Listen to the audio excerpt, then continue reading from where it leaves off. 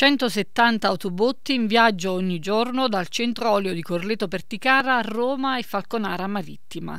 È lo scenario prospettato dalla Total fino a che la Regione Puglia non darà il via libera all'utilizzo dell'oleodotto per Taranto. Ma quale posizione ha assunto il governo regionale lucano su questa vicenda? Ha valutato i rischi ambientali e per la sicurezza stradale connessi a questa modalità di trasporto del greggio? Lo chiede con un'interrogazione il capogruppo di laboratorio Basilicata Fratelli d'Italia Gianni Rosa. Pittella venga a parlarcene in consiglio. È un atto di trasparenza dovuto a tutti i cittadini lucani, afferma Rosa. Questo progetto comporterebbe un notevole impatto in termini di disagio alla circolazione e rischio ambientale, oltre a compromettere pericolosamente la sicurezza delle strade lucane.